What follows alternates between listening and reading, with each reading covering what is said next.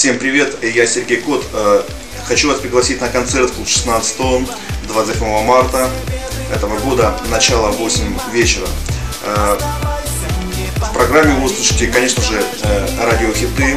Это и «Колечко», и песни «С днем рождения», и трек «Раскачиваясь», и «Если бы тебя было две». Также вы услышите массу новых песен.